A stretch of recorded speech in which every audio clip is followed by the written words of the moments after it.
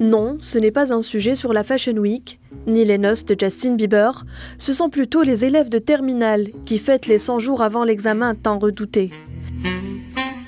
Des tenues classiques auxquelles les lycéens sont généralement peu habitués, tirées à quatre épingles, entre brushing, costume cravate, chapeau, certains sortent même le grand jeu, le nœud papillon.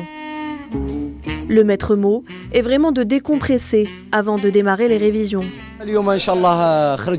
Comme il reste 100 jours au bac, alors nous sommes sortis pour souffler un peu. Et notre bonheur est vraiment de se retrouver tous ensemble.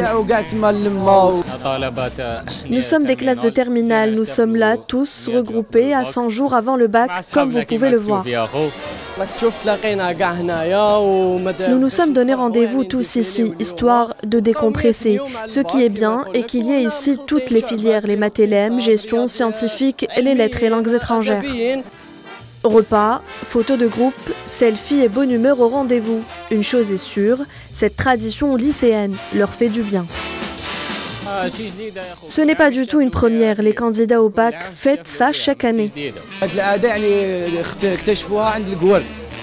Cette coutume nous vient de l'étranger. Chez eux, c'est l'élève le plus aisé qui invite chez lui pour faire la fête. Et les Algériens ont repris l'idée et on ne se plaint pas, c'est plutôt une bonne chose.